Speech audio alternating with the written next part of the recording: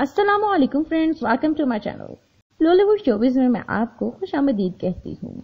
Video शुरू करने से पहले आपसे रिक्वेस्ट है कि अगर आपने हमारा चैनल अभी तक सब्सक्राइब नहीं किया तो कर दें।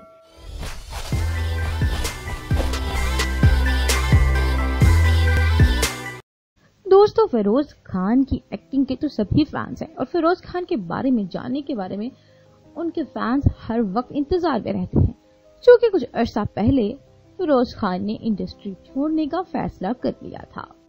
फिरोज खान के ड्रामा खाने की रेटिंग्स इतनी ज़्यादा हाई रही कि उन्हें खुद भी यकीन नहीं हुआ। लेकिन फिरोज खान की एक्टिंग ही कुछ ऐसी थी कि हर कोई उनका मदा हो गया। फिरोज खान और सजल अली के चर्चे हर जगह होते रहते थे, मगर फिर फिरोज खान ने शादी अपनी एक कदन से कर ली और वे खुशगवार शादीशुदा ज़िंदगी गुजार रहे हैं। उसके बाद फिरोज खान ने ऐलान कर दिया कि वो शोबिस इंडस्ट्री में काम नहीं करेंगे। लेकिन अब उन्होंने काफ़ी प्रोजेक्ट साइन कर लिए हैं। यही खबर हमने उनकी बहन दुआ मलिक के बारे में भी सुनी थी कि अब वो शोबिस में काम नहीं करेंगी। चूँकि ये फैमिली काफ़ी रिलीजियस है और वो चाहते थे कि अब हम मज़हब पे अमल करें, अपने इस्लाम पर चले ना के इस दुनिया के कामों में पड़ जाए। और साथ ही हुमायमा मलिक के बारे में भी यही ऑब्ज़र्व किया जा रहा था कि हुमायमा भी अब कुछ ऐसा ही करेंगी।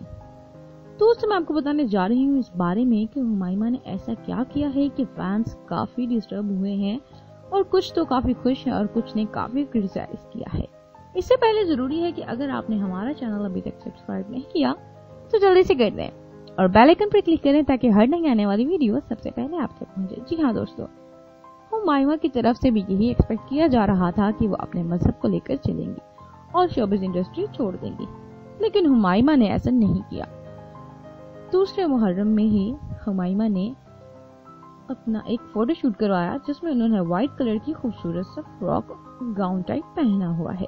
जिसमें वो बेहद हसीन तो नज़र आ रही हैं, लेकिन लोगों को उनसे ये उम्मीद थी कि वो ये सब छोड़ देंगी, मगर उन्होंने ऐसे नहीं किया। और अक्सर फैंस ये देखकर खुश हुए कि हुमायमा ने कितना खूबसूरत कम किया है। दोस्तों, इस बारे में आपकी क्या राय है, मुझे बताना मत भूलिएगा।